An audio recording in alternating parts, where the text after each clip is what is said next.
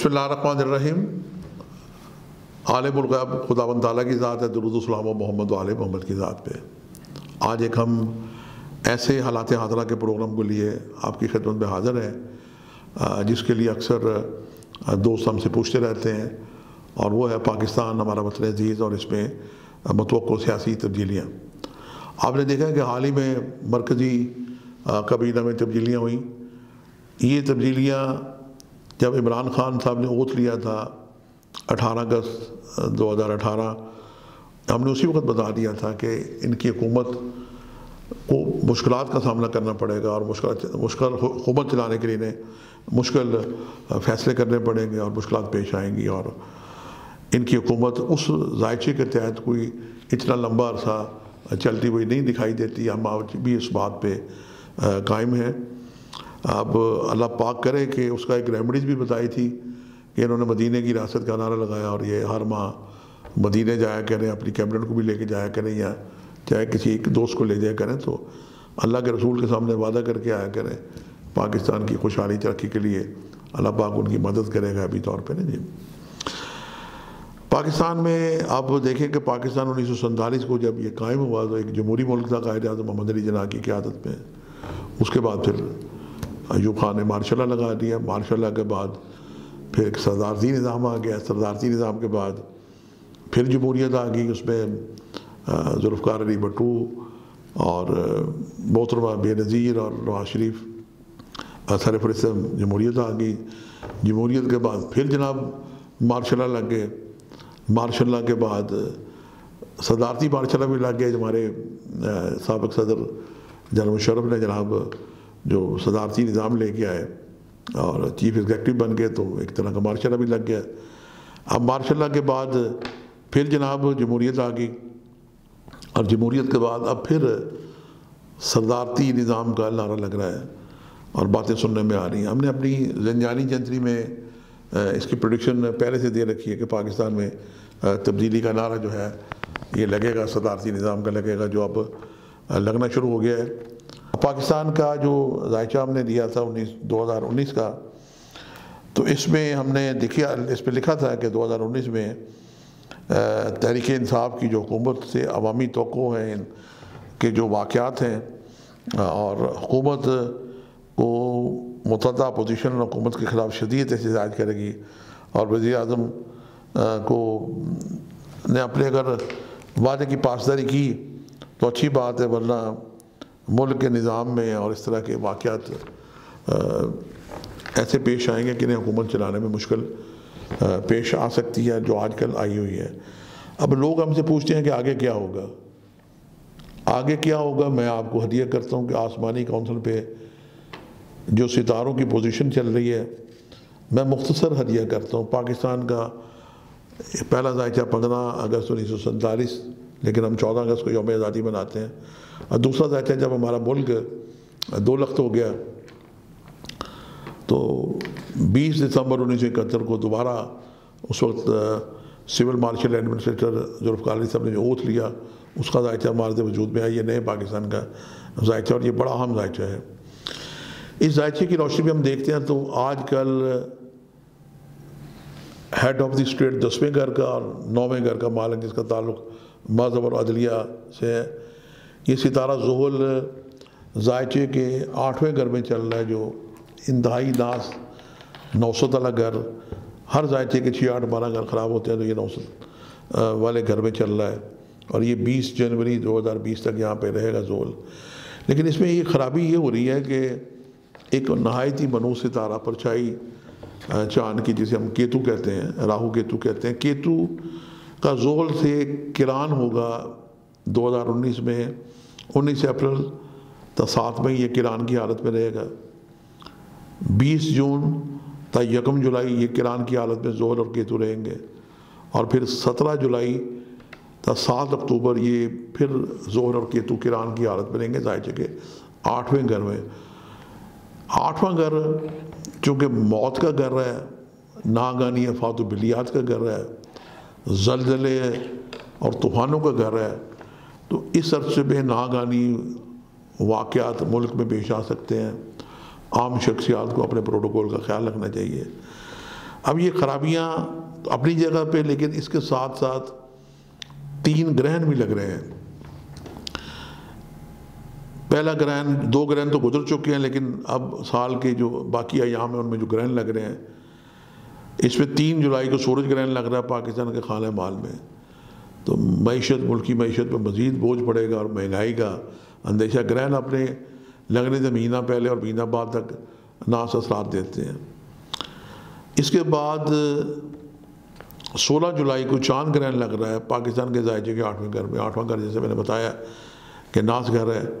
تو حکمرانوں کی اور عام شخصیات کو اپنے پروٹوکول کا، اپنی زندگی کا خیال رکھنا چاہیے۔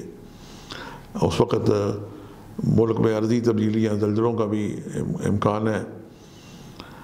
سب سے جو خراب گرہن لگ رہا ہے یہ چھبیس سورج گرہن ذائچے کے آٹھویں گھر میں لگ رہا ہے۔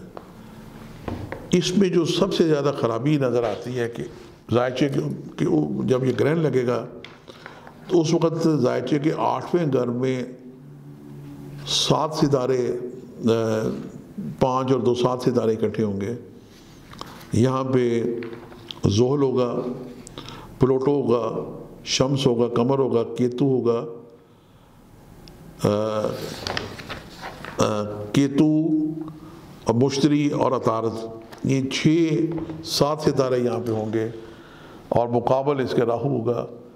یہ کوئی اچھا یہ سمرا آسمانی کونسل پہ نہیں ہے۔ گرہن اپنے لگنے کے مہینہ پہلے یا مہینہ بعد سورج گرہن بعد اثرات دیتے ہیں۔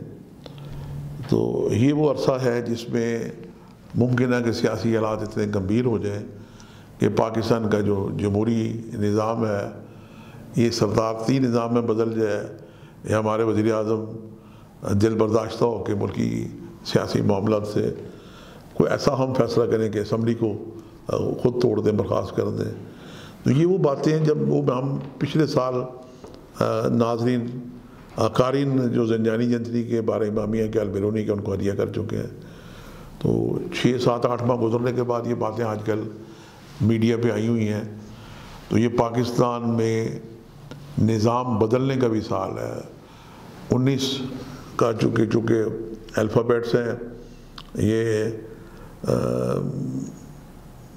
انا للہ و انا لہراجون کے بھی انیس حروف ہیں۔ اس کے بعد ایک نئی شروعات ہوتی ہے اور بسم اللہ الرحمن الرحیم کے بھی انیس حروف ہیں۔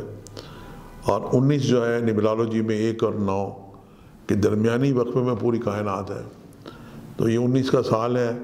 یہ بہت اہم سال ہے۔ اس کو جمع کریں تو مفرت نمبر تین بن جاتا ہے۔ یہ ستارہ مشتری کا نمبر، یہ روحانیت کا نمبر ہے۔ اور ستارہ مشتری بارہ سال کے بعد ویدک اسٹرالوجی میں، یہ مارچ میں اپنے فیلی برج میں، برج کوس میں آ چکا ہے۔ اب یہ ریٹروگریشن کر کے برج اکرم میں آیا۔ کچھ دنوں بعد یہ، مہینوں بعد یہ واپس چلا جائے گا برج کوس میں اور پورا نصف سال دو ہزار بیس میں یہاں تک رہے گا۔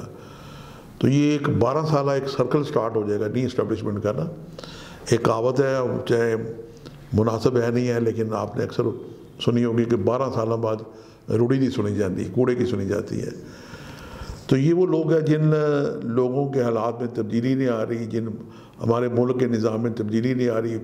بہتری کے لیے ہمارا ادارہ نیب بھی متحرک ہے، عدلیہ بھی متحرک ہے اور اس کے پیچھے ہماری اسٹیبلشمنٹ بھی اور سیاسی لوگ بھی متحرک ہیں۔ اور عمران خان کی حکومت، جس کا سیاسی پارٹی کا نشان ہی تحریک انصاف ہے۔ عمران خان وزیر اعظم اس کے پیچھے لگے ہوئے ہیں کرپشن دور ہونے کے لیے۔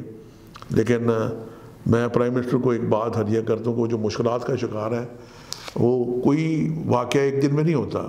کیونکہ انہوں نے اٹھارہ اگست دو ہزار انیس کو خراب ٹائم میں اتر لیا تھا۔ یہ مشکلات پیش آنی تھی جس کی میں نشاندہی پہلے سے کر چکا ہوں تھا اور ان کی حکومت بھی مجھے کوئی لمبی چلتی ہوئی نظر نہیں آتی۔ ہے میں نے بات اٹھارہ انیس اگست کو جب ذائچہ انہوں نے اتر لیا تو اس کو بھی ہدیہ کر دی تھی۔ میں آج بھی اپنی بات پہ قائم ہوں۔ میری سورس آف انفارمیشن آسمان پہ ستاروں کی آسمانی کونسل پہ ہے۔ اور جتنے بھی ہمارے دوست ہیں اسٹرالوجرز ہیں، ان کو بھی میں یہ بات عرض کروں گا کہ وہ جب بھی پروڈکشن کریں کلیہ قاعدے اصول کے مطابق کریں پروڈکشن کا درست ہونا، صحیح ہونا یہ خدا تعالیٰ کے ہاتھ میں ہے۔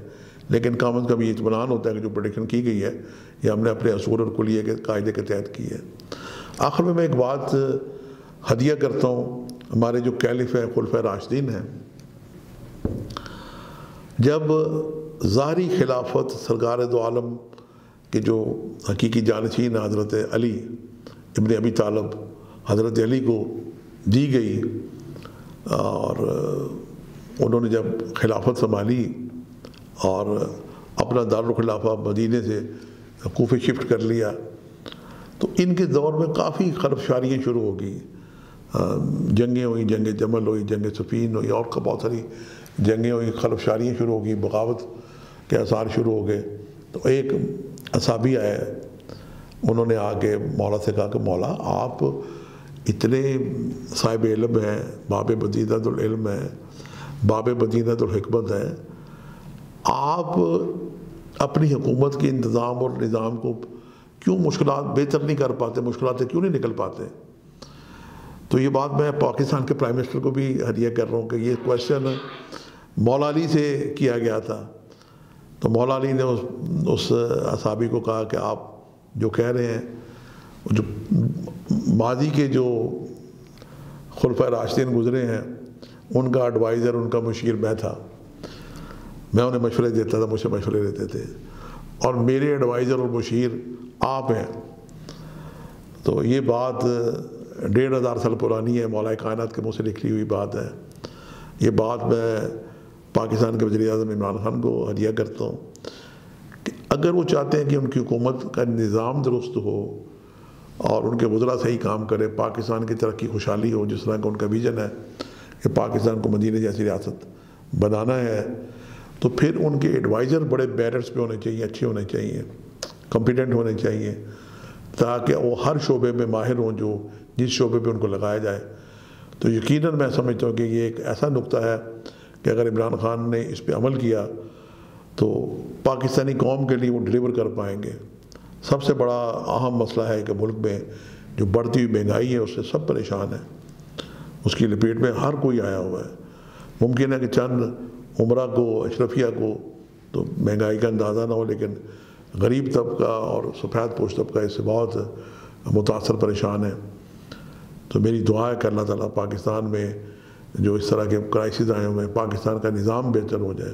پاکستان کا اگر نظام بہتر کر رہا ہے، انتظام بہتر کرنا ہے ایڈمنسٹریشن چیزیں بہتر کرنی ہے، پاکستان میں ترقی دینی ہے، تو میری تجویز ہے کہ آپ پاکستان کے جو بھی آرمی چیف ہوں، کیونکہ آرمی چیف جو اب کوئی جنرل بنتا ہے تو اس کا بہت ویژن ہوتا ہے، اسے انٹرنیشنل معلومات بھی ہوتی ہیں، اپنی سرحدوں کا بھی پتہ ہوتا ہے، اسے اپنے ملک کے اندرونی اور بیرونی دشمنوں کا بھی پتہ ہوتا ہے۔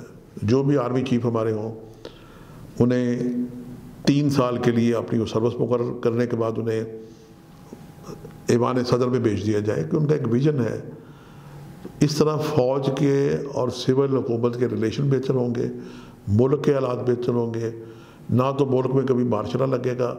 اور ملک میں یہ جو ایڈمنسٹریشن تبدیلیاں جلدی جلدی آ رہی ہیں یہ جلدی جلدی تبدیلیاں ترقی کے گراف کو روک دیتی ہیں۔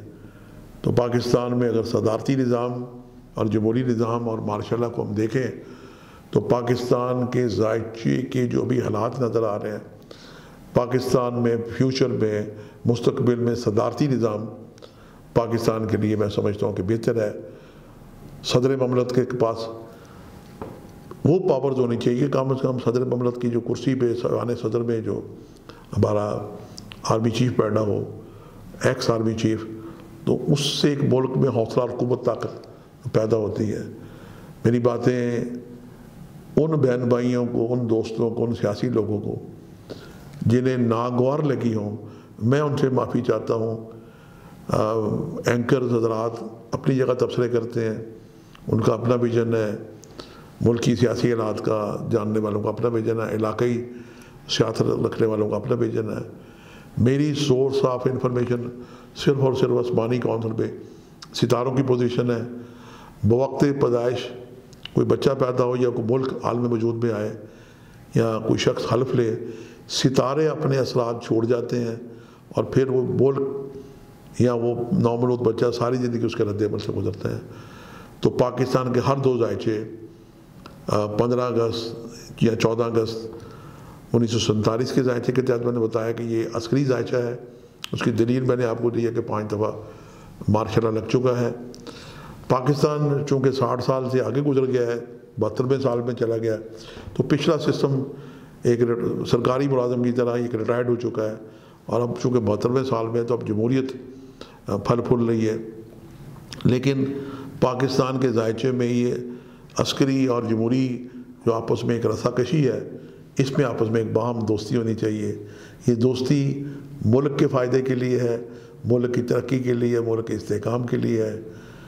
آئین میں اگر کوئی ایسی گنجائش نکل آئے تو ہر آرمی چیف کو تین سال کے لیے صدر مملت کا عہدہ دینا چاہیے تاکہ ملک میں جو ترقی کا جاری نظام ہے، وہ تسلسل سے جاری رہے۔